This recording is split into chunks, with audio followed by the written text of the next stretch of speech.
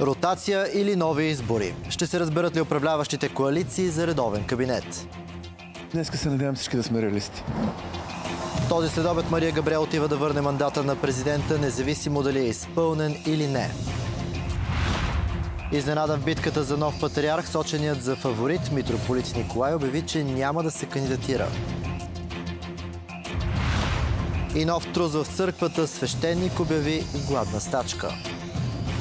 Ще ги оставя на архирейската им съвест да тежи моята съдба.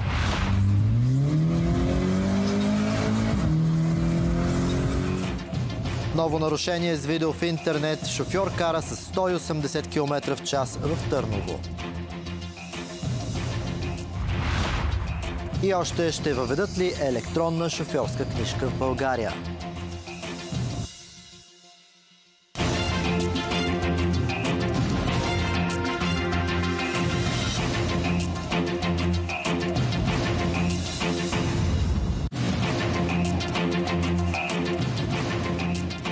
Време е за новините в 12. Здравейте, аз съм Методи Владимиров. И така, крайният срок, даден от ГЕРБ СДС на партньорите им от Продължаваме промяната Демократична България, изтече.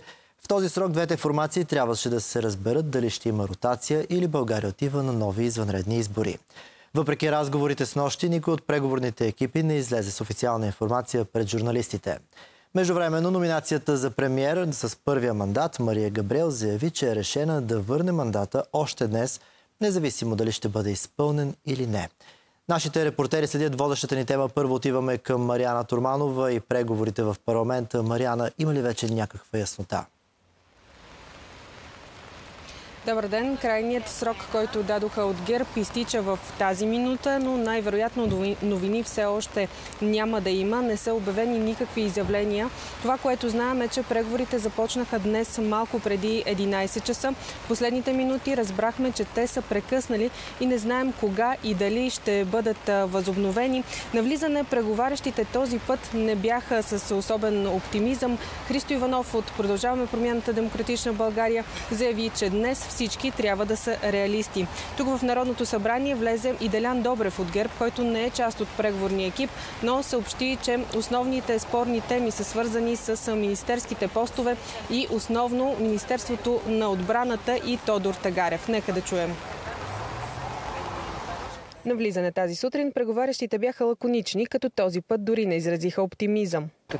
Уважаеми Колеги, обсъждаме всичко. Надявам се да продължат обсъждането. Към момента нищо не може да съобща. И регулаторите ли още не може да се разберете за тях ли?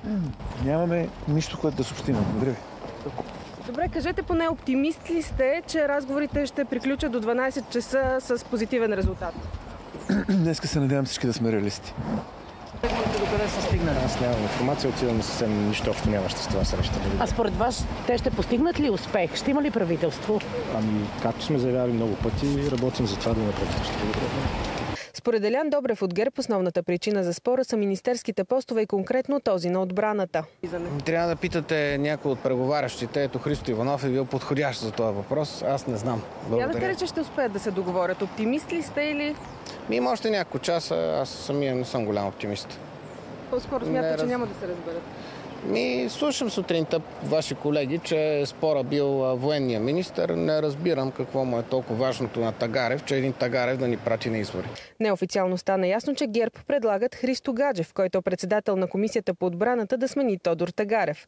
На влизане в Народното събрание Гаджев нито потвърди, нито отрече. Без коментар, има си преговори, има си преговори. Без коментар от моя страна. Благодаря. А вие участвате ли в преговори? От ДПС, които не участват в преговорите, също запазиха мълчание. Имаме си парламентарна работа. Моля ви, имаме си парламентарна работа.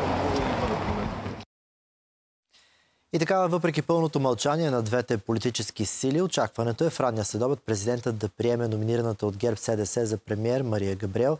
Тя ще върне на държавния глава първия мандат. Мия Димитрова с информация в аванс. Добър ден. Вчера ГЕРБ СДС получиха мандата тук на Дундуков 2 при формат, който до сега обаче не бяхме виждали за тази конституционна процедура, а именно първата политическа сила дойде да вземе папката заедно с другата преговаряща страна в лицето на Продължаваме промяната Демократична България.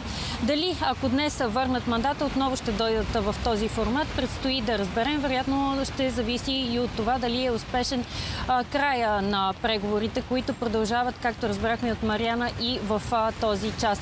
Също след като вчера те получиха мандата от централата на ГЕРБ СДС, пуснаха официално съобщение до медиите, че днес в 12 часа ще приключат преговорите и имат готовност още днес да върнат папката в президентството. Това трябва да направи кандидата за министър-председател Мария Габриел. И към този час обаче все още няма яснота в президентството да е поступило такава молба от страна на първата политическа сила за връщане на мандата, но от пресекретарията на президентството напомнят, че е в рамките на правомощията на мандатоносителя в момента това кога да бъде изпълнен мандат или дали да бъде изпълнен и дали ще бъде изпълнен мандата, защото към този час също така ние не знаем дали Мария Габриел ще върне празна папка или папка пълна с имена на министри. От пресекретарията на президентската институция информират още, че държавният глава е готов готов да приеме партийните лидери и номинираната за министър-председател във всеки един момент, в който те са готови в 7-дневния срок, който се полага по Конституция, информират и че ще дадат информация своевременно за програмата на президента в рамките на деня. Ротация или нови избори, репортерите на Нова следят темата, а ние имаме готовност да прекъснем с извънредна емисия новини. И още от деня депутатът от ДПС Димитър Аврамов получи условна присъда от една година и три години изпитателен срок. Решението на Софийския градски съд идва 13 години след като той беше задържан с белязани пари по обвинение за получаване на подкоп. Според прокуратурата Аврамов е обещал на бизнесмена Светослав Илчовски да разреши негови проблеми в местната земеделска комисия. Депутатският имунитет на Аврамов беше искан 7 пъти преди съдът да се произнесе. Заедно с него присъда от 6 месеца затвор получи и Методи Петков. Третият подсъдим Владимир Чернев е признат за невинен. Решението на съда подлежи на обжалване. Другата водеща тема е неочаквано обрата в борбата за нов български патриарх. Соченият за един от основните претенденти, пловдивският митрополит Николай обяви, че се отказва от участие в избора. Междувременно Светият Синод се събра, за да определи наместник на починалия патриарх, докато не бъде избран нов. Репортерите на Нова по тази тема започваме с Благой Бекриев и Пловдив.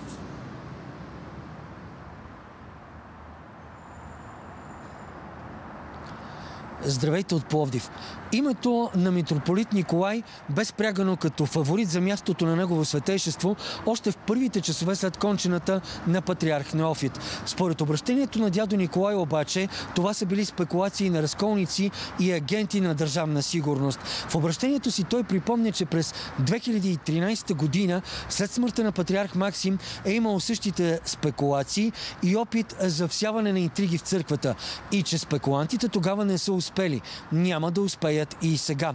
Той заявява, че се отказва от надпреварата за нов патриарх и с друг мотив, цитирам, защото става дума за война срещу вярата ни и за нищо по-малко. Война, насочена срещу самия него. Какви са останалите мотиви да се откаже от надпреварата? Вижте. В обращението си към клира и миряните от Пловдивската епархия митрополит Николай заявява – Обявявам и декларирам, че не желая и няма да приема да бъда включван като кандидат за патриаршеския престол в процедурите, които Светият синод на Българската православна църква, Българска патриаршия, предстои да проведе в съответствие с нейния устав. Според него спрягането на името му за нов патриарх е плод на спекулации на разколници и агенти на държавна сигурност. Владиката твърди, че в следващите месеци ще се води война срещу вярата и църквата. Както и през 2013 година, основната агресия, свързана с избора на следващия български патриарх, е насочена срещу мен, вашият митрополит. Свещениците от Позиската митрополия запазиха мълчание, но вярващите са разединени относно отказа на Николай да се кандидатира за патриарх.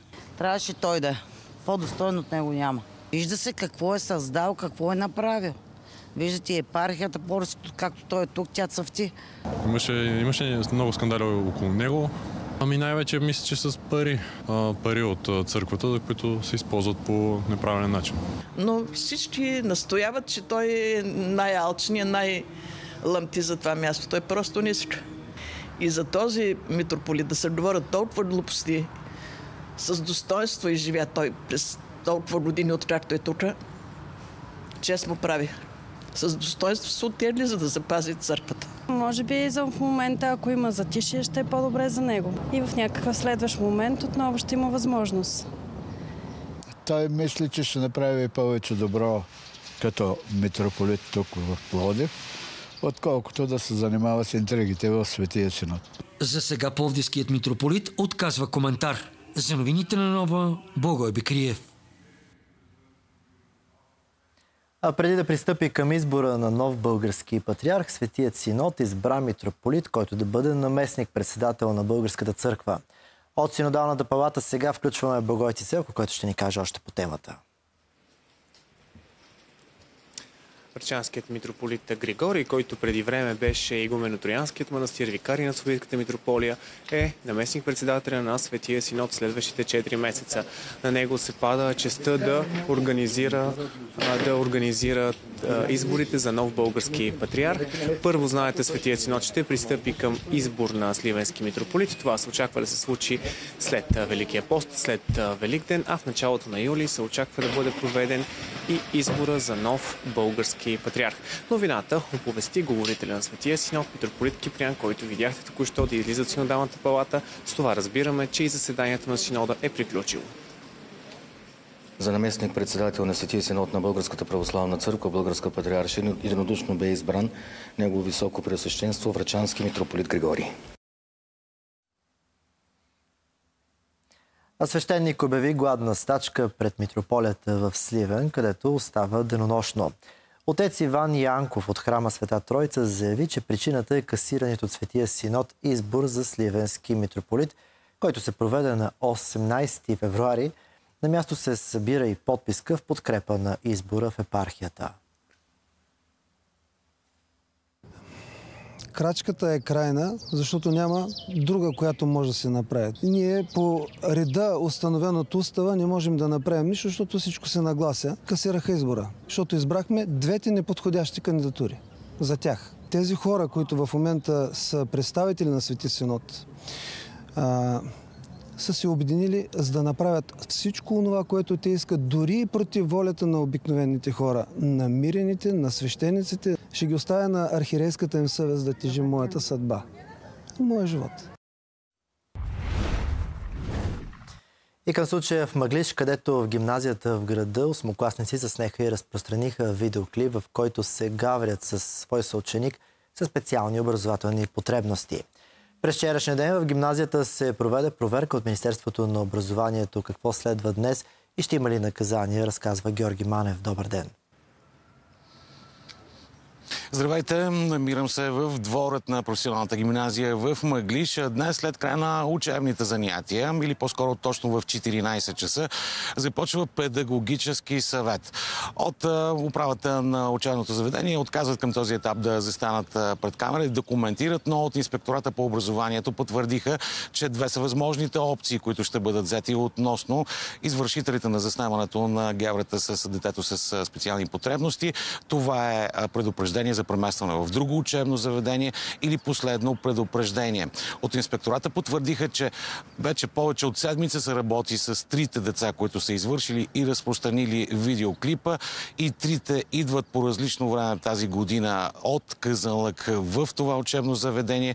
Имали са проблеми в други учебни заведения, имат проблеми и в семейството с тях работят психолози и се надяват подобни случаи да останат в историята. Но така или иначе този а, клип е факт. Днес очакваме и решението за наказанието на педагогическия съвет тук а, в Мъглиш.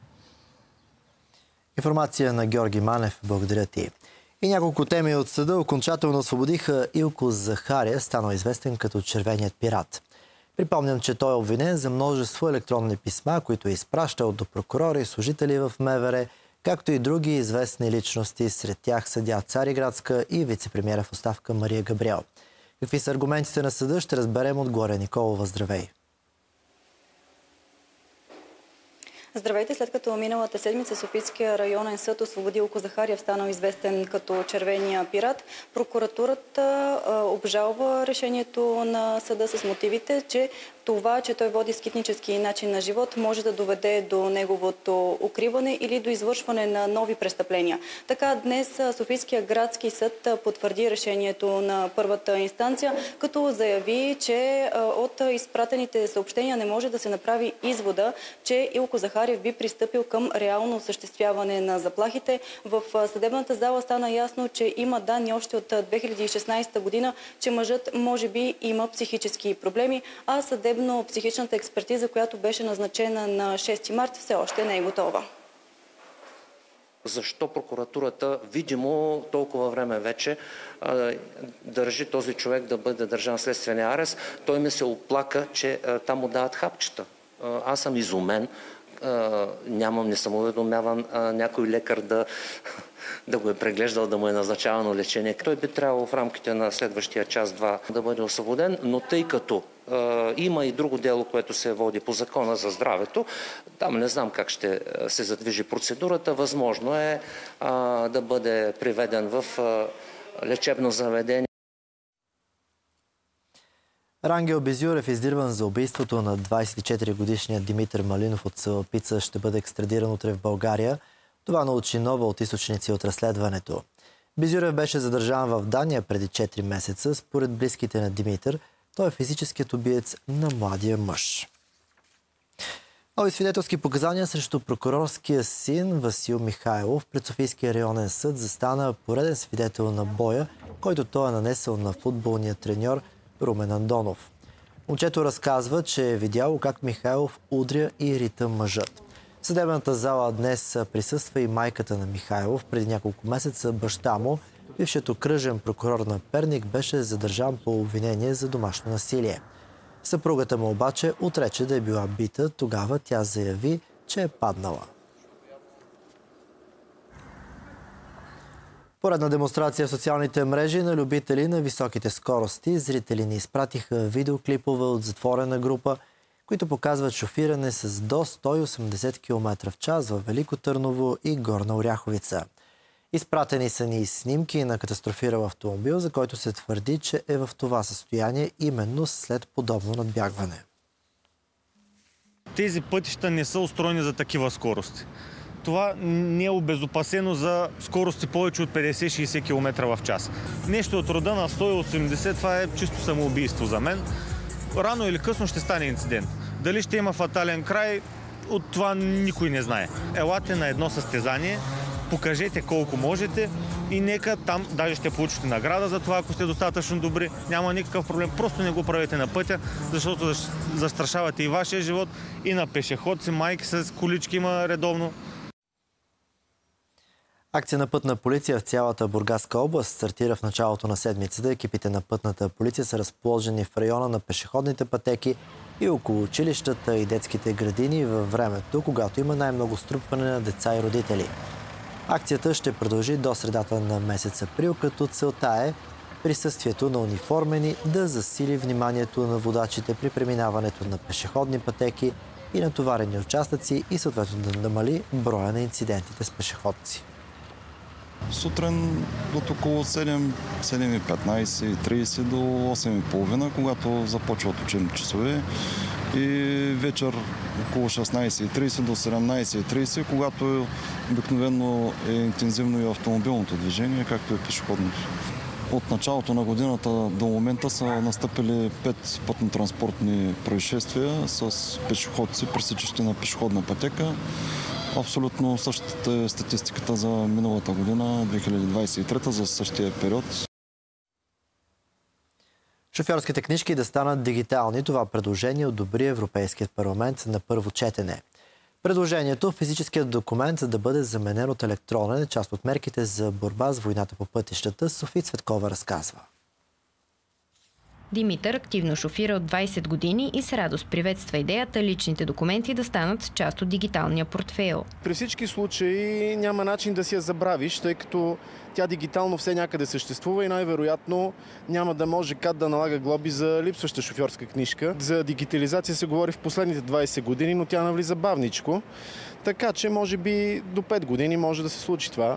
Не виждам как по-бързо. Една държава, каквато е Естония, вече многогодишна практика има в това да дигитализира цялата си документация на гражданите и хората в Естония ползват тези документи като се идентифицират пред всякакви институции. От гледна точка на сигурността на личните ни документи в електронен вариант, експертите са категорични. Няма място за притеснение. По-опасно е да носим документите си в физически портфейл, който много по-лесно може да бъде откраднат. Телефона дори да бъде откраднат, знаете, че има двуфакторна автентификация чрез биометрични данни, чрез ПИН. Ако ни откраднат телефона и чак толкова се страхуваме да си направим една разпечатка и ще си имаме и на хартия. Като мерки за ограничаване на пътните инциденти в Европа, евродепутатите приеха и редица други промени. Сред тях неопитните шофьори да имат двугодишен изпитателен срок, водачите да оценяват собствената си годност за шофиране, както и по-адекватна подготовка за рискови ситуации на пътя. Ако предложенията бъдат приети окончателно, България е задължена да приложи европейското законодателство. Всяко едно действие в тази посока според мен би било приемано добре и от друга страна би облегчавало редица процедури, както водачите, така и в органите, които контролират тези процеси. Преди да можем обаче да добавим шофьорските книжки в дигиталния портфейл, е необходимо Европейския парламент да гласува предложението и на второ четене, което ще се случи най-рано след евроизборите през юни. За новините на Нова, Софи Цветкова. Бърз поглед към темите от света. Ден след като получи нов 6 годишен мандат, руският президент се появи за кратко на концерт в центъра на Москва. Десетки хиляди хора се събраха на червения площад на пишно събитие по повод 10-та годишнина от анексирането на Крим. Европейският съюз категорично осъди незаконното провеждане на избори в временно завзетите от Русия украински области, съответно Крим, Донецка, Луганска, Запорожка и Херсонска. Путин от своя страна приветства, цитирам, завръщането в родината на въпросните територии. Що се отнася до Новорусия и Донбас, живеещите там хора по време на руската пролет също заявиха желанието си да се върнат при семейството си. Техният път към родината се оказа по-труден и трагичен, но ние го постигнахме и това е голямо събитие в историята на нашата държава. Но все-таки мы сделали это. Брюксел ще наложи санкции на личности и институции, свързани с смъртта на Алексей Навални. Това решение беше взето късно с нощи от външните министри на Европейския съюз. В списъка попадат 30 души, но имената им все още не се оповестяват, за да не може да предприемат мерки за изтегляне на парите си. И още голямата част от първите дипломати на Европа подкрепят идеята печалбите от замразените руски активи да отиват за помощ към Украина.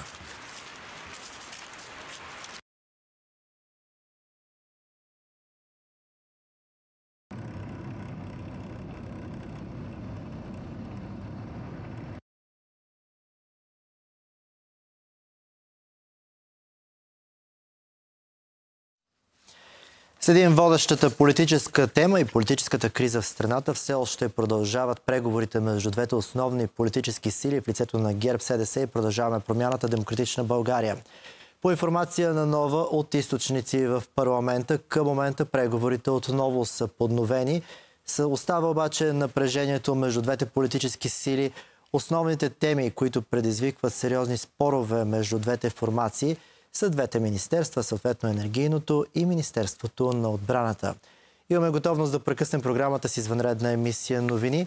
Сега останете с нас и спортната емисия. Хубав ден! В интернет новините са на нова точка БГ.